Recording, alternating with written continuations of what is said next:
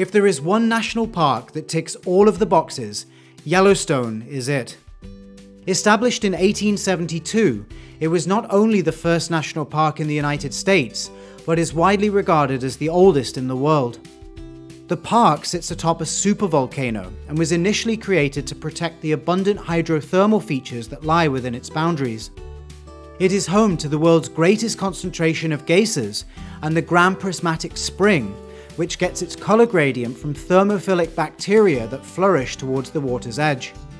Nestled in the Rocky Mountains at 8,000 feet above sea level, Yellowstone is the second largest US national park outside of Alaska and boasts arguably the most impressive array of wildlife, including elk and herds of bison and pronghorn. The park also features amphibians such as the western tiger salamander and birds such as the great horned owl. Sitting mostly in the northwest corner of Wyoming, Yellowstone is but a stone's throw away from the state's second national park, found to the south. Grand Teton was established in 1929 to protect the Teton Range and several lakes that sit at the foot of the mountains. The Tetons is a smaller range within the Rockies whose highest peak, Grand Teton, rises to almost 14,000 feet. Although the mountain range itself is one of the youngest in North America, having only been uplifting for a mere 10 million years, the rock from which it is formed is some of the oldest in North America, dating back 2.7 billion years. A mixture of metamorphic gneiss and granite produce the spectacular dark grey peaks this range is famous for. The wildlife in Grand Teton is equally stunning, with both grizzly and black bears roaming the forests, alongside moose whose range extends not much further south. There are also 10,000 plus species of insects in this region, such as the swallowtail butterfly, who play an important role in pollination. Another park founded to protect its geological landscapes is Capitol Reef National Park in Utah. The park boundary follows the Waterpocket Fold, a warp in the Earth's crust known as a monocline, which exposes layers of colourful rock that usually run horizontally. Capitol Reef is named so for the combination of white Navajo sandstone peaks that resemble the domes of Capitol buildings, and the rocky cliffs which represent a barrier to travel, similar to an ocean reef. Another unique feature of this park is a collection of Native American petroglyphs a series of rock engravings showing various characters and the area's animals, which look very similar to the desert bighorn sheep that live in this area. The hot desert ecosystem supports various species of reptile, including the long-nosed leopard lizard and the midget-faded rattlesnake, the only venomous snake in the park. There are also many species of rodent in Capitol Reef, such as the white-tailed antelope squirrel, which are quite small, with an average weight of around 100 grams. Moving southwest to the edge of the Colorado Plateau, Zion National Park is noticeably more luscious than Capitol Reef. Its geography is dominated by several tributaries to the Virgin River that have, over time, eroded through the sandstone layers to create a series of canyons, the largest of which is Zion Canyon itself. Many of the smaller canyons here are referred to as slot canyons, which are much narrower and often take on unique shapes. These rivers also create riparian ecosystems, those found in the transitional zones between aquatic and terrestrial ecosystems that support beautiful green vegetation amid the otherwise rugged sandstone terrain. In combination with the layered rock canyons, Zion has some of the most breathtaking landscapes in the entire park system. These layers of rock are especially interesting when you consider they are part of a geologic formation known as the Grand Staircase. This sequence of sedimentary rock layers runs from Bryce Canyon in the north, through Zion and into Grand Canyon National Park in the south, where it is arguably the most visible.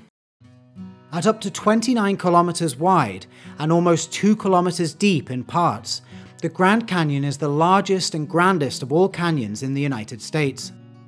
It was formed over millions of years as the Colorado River eroded its way down through the many layers of the Colorado Plateau. But this wonder of the natural world is not the only spectacle of the national park that surrounds it, which is home to five life zones, 1,500 species of plant, and 89 mammalian species. 22 of these species are bats, such as the pallid bat, also known as the desert bat, which are tiny, weighing just 17 to 28 grams. One of the largest and most unique reptiles found in the park is the Gila monster, which exhibits pink and black skin. They are found at the far western edge of the park and are one of only two dangerously venomous lizard species in the world. One of the two other national parks located in Arizona, Saguaro is located to the south in the Sonoran Desert.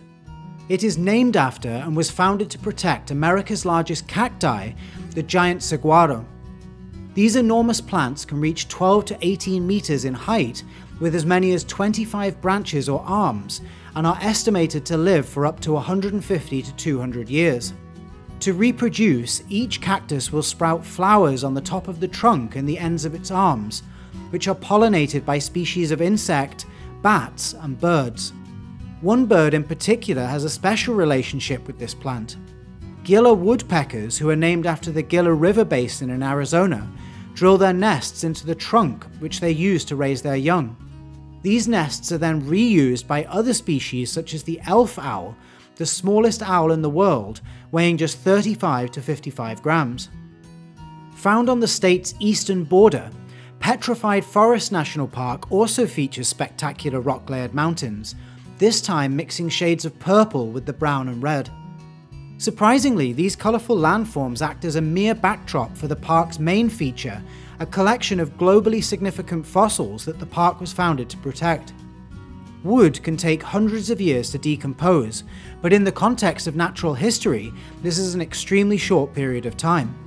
Hundreds of millions of years ago, the trunks on display at Petrified Forest were buried fast and deep enough to cut off oxygen slowing the process of decomposition and allowing the organic material to absorb minerals that over time converted to almost solid quartz. On top of the astounding geology, the park's wildlife is equally mesmerizing, including mammals such as the cotton-tailed rabbit, bobcats, the smallest member of the lynx family, and reptiles such as the colorful collared lizard. The main type of terrain here is referred to as badlands, a term exemplified best 1200 kilometers northwest in South Dakota. The layers at Badlands National Park were deposited between 28 to 75 million years ago and have eroded away over time to form the landscape we see today. What makes this park drastically different from the ones we have previously discussed is its ecology. Badlands sits in the strip of temperate grassland known as the prairies, which support larger mammals such as the bison, these lands have been historically important to Native American tribes, and part of the park is co-managed with the Oglala Lakota tribe.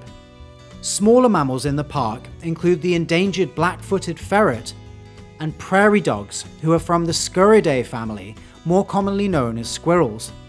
There are several bird of prey species who call the park their home, including the golden eagle and the burrowing owl, who live in the burrows dug by the prairie dogs. Badlands is one of two national parks located in South Dakota. Lying to the southeast, Wind Cave National Park also sits in the prairies and features one of the longest and most complex caves in the world, with almost 250 kilometers of known passageways. Because the cave is so large, it is subject to an air pressure system. When the air pressure inside of the cave is higher than it is outside, air is forced out of the cave to equalize the pressure. Conversely, when the air pressure is lower in the cave than it is outside, air is forced in. This process is referred to as cave breathing and creates the wind that the cave is named after. In addition to being one of the longest, Wind Cave is also one of the oldest, with portions of the cave being over 300 million years old. Above ground, the ecology of the area is a little different to Badlands, with forest ecosystems found at higher elevations of the park. This is also the case 400 kilometers due north in North Dakota's only National Park. Theodore Roosevelt National Park was established in 1978 and was named after the US president who came to these badlands to hunt bison in 1883, almost exactly 100 years earlier.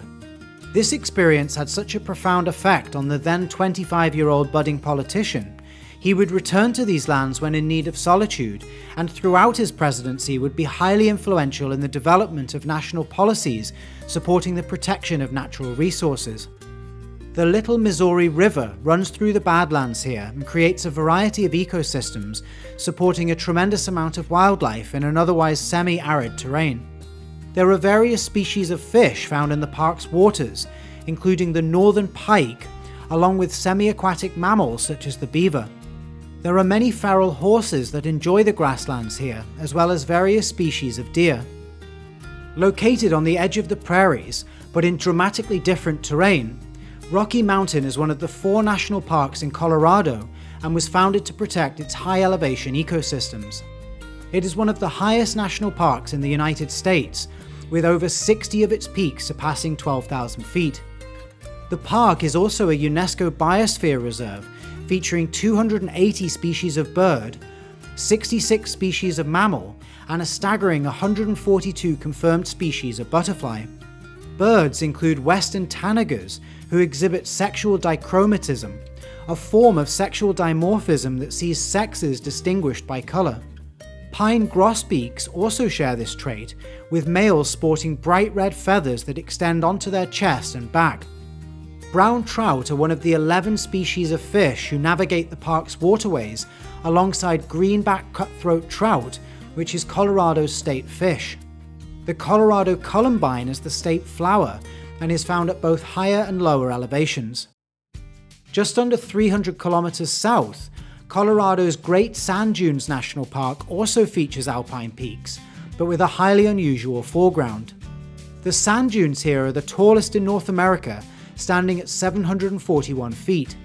The story of their creation is complicated, but goes a little something like this. Geologists have found evidence of a giant lake that used to exist on the valley floor large amounts of sediment were collected in the lake, which over time receded and eventually dried up. Predominant winds pushed the sand grains from the sediment up against the base of the mountain, and opposing storm winds caused this build-up to peak into the sand dunes we see today. These dunes are home to their very own species of beetle, the Great Sand Dunes tiger beetle, as well as mammals such as the kangaroo rat. Another of Colorado's beautiful national parks is Black Canyon of the Gunnison, famous of course for its canyon, but also for boasting some of the darkest skies in North America. The park boundary follows the Gunnison River, which has cut its way through some of the world's oldest rock at nearly 2 billion years old. The painted wall section of the canyon displays Precambrian rock, a period of the Earth's history that runs from the very beginning until around 540 million years ago.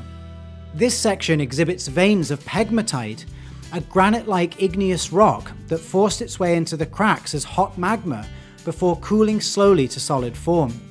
These cliffs look spectacular at sunset, but what unfolds in the hours that follow is truly awesome. The Park Service here uses artificial light only when absolutely necessary, producing some of the darkest skies in the United States, so much so that the park was certified as an International Dark Sky Park in 2015. The final park in the state of Colorado, Mesa Verde is one of the most unique in the country. It was established in 1906 by President Theodore Roosevelt to preserve archaeological sites built by an ancient Native American culture, the ancestral Puebloans, who lived in the area between 550 and 1300 AD. The park contains almost 5,000 archaeological sites, including Cliff Palace, the largest of the park's dwellings, that is thought to have accommodated up to 100 people. In addition to these buildings, there are a series of petroglyphs similar to those at Capitol Reef. Mesa Verde translates to green table in Spanish, referring to its position in the transitional zone between the arid scrubland to the south and the green montane ecosystems of the Rocky Mountains to the north. There is a diverse collection of animals here, including coyotes and mule deer, who are quite large, weighing up to 150 kilograms. Sitting at almost the exact same latitude, Mammoth Cave is the only national park in Kentucky and hosts the longest known cave system in the world. A portion of the bedrock in the area is limestone, a type of rock which is soluble even in weakly acidic water. Rainwater, having picked up carbon dioxide from the atmosphere, is slightly acidic and over the course of millions of years seeped into and ate away at the bedrock, creating what is known as a solution cave. The ecosystems within these caves are perfect for species such as the spotted-tailed salamander, one of the many species of cave salamander. Above ground, the park features rolling hills covered in mixed deciduous and coniferous forest that are home to a wide variety of wildlife. There are 13 confirmed species of bat in the park, four of which live outside of the cave system, including the eastern red bat. Great Smoky Mountains is a sub-range of the Appalachian Mountains, the main mountain range on the east coast, which stretches from Georgia in the south to Maine in the north. They are affectionately referred to as the Smokies, a name that references the smoke effect, which is actually fog, created when plants release VOCs, or volatile organic compounds. This is a normal and natural process that is also responsible for the blue hue that these mountains are famous for. Black bears are common in the forests here, with an estimated 1,500 individuals roaming the park. Bears in this area have been known to double their weight in preparation for the winter, with males weighing up to 600 pounds in the fall. Great Smoky Mountains is the most visited national park in the country, with over three times the number of visitors as Yellowstone, which sits in second place. This beautiful park is located at the south of a physiographic province of the Appalachians named the Blue Ridge Mountains, which contains one other national park. The foundation document for Shenandoah National Park mentions one specific species, the Shenandoah salamander. These unique creatures are found exclusively in the park and measure no more than 10 centimeters in length. The park's temperate climate and seemingly endless expanse of forest play host to some of the East Coast's most impressive wildlife. Aside from larger mammals such as deer and black bears, the park is home to no less than six species of squirrel, including the eastern chipmunk, which weigh just 66 to 115 grams, and the southern flying squirrel, which use the membrane between their wrists and ankles to glide between trees. Some of the most beautiful bird species here include the ruby-throated hummingbird and wild turkeys whose male individuals are quite colourful. Named after the gorge it was established to protect, New River Gorge National Park sits in West Virginia, in between Great Smoky Mountains and Shenandoah. Like the canyons previously discussed, the gorge here was created over millions of years as the New River slowly eroded the Appalachian Plateau, leading to the sandstone and shale cliffs that are exposed today. The forests that line the gorge and surrounding terrain are some of the most diverse on the east coast, with almost 1,400 species of plant identified. This pristine wilderness offers sanctuary to mammals such as the red fox, reptiles such as the colourful eastern box turtle, and birds of prey such as the bald eagle. The New River is also home to a particularly colourful species of fish known as the candy darter, which is native to the area. On the south side of the Appalachians in South Carolina sits Congaree National Park, which was established to protect the old-growth bottomland forest that contains champion trees, a term that refers to the largest trees of a given species. The national park sits on the northern bank of the Congaree River and is prone to flooding, contributing to some of the most biodiverse forest ecosystems in the country. Reptiles include the eastern cottonmouth, a semi-aquatic pit viper who prey primarily on small mammals and fish. One of the most beautiful mammals found in the forests here is the star-nosed mole, which is quite small, weighing just 35 to 75 grams, and exhibits 22 pink tentacles on its nose. At around double the size, the belted kingfisher is one of the most striking birds of the region, who prey on the smaller fish in the rivers. Another park that features spectacular bird life sits over 2,000 kilometers southeast in the Caribbean. Virgin Islands National Park protects both tropical marine and terrestrial ecosystems, as well as various colonial cultural heritage sites. It makes up the majority of the island of St. John, which is renowned for its white sand beaches, tropical turquoise waters, and lush green forests. The wildlife in this park is like none previously discussed. The coral reefs here are home to hawksbill sea turtles, who feed primarily on sponges. The 500 some species of fish in these waters include the spotted eagle ray and nurse sharks, which are the most common around St. John. On land, some of the most interesting species of bird include the Antillean crested hummingbird, the yellow warbler, which is quite small at 7 to 25 grams, and the official bird of the Virgin Islands, the bananaquit. There is only one national park that is arguably more idyllic, located on the other side of the American landmass in the Pacific. The National Park of American Samoa is the fourth smallest at just over 32 square kilometers. It has a similar ecological makeup to the Virgin Islands with coral reef and forest ecosystems, but is home to a vastly different set of species. The forests of the island are home to no less than seven species of skink, including the moth skink, and five species of gecko, including the slender-toed gecko. Some of the most colourful birds here include the many-coloured fruit dove and the cardinal myzomela, a species of honey eater found on many of the South Pacific islands. The reefs of American Samoa are filled to the brim with interesting aquatic species, including the raccoon butterfly fish and the gracile lizard fish found throughout the Indo-Pacific region. Further out to sea, the Samoan waters are an important breeding ground for humpback whales, who can live for 80 to 90 years. American Samoa is located in the Oceanian realm, which you can learn more about in this video, along with two national parks in Hawaii, which you can learn about in part 2 of this three-part series.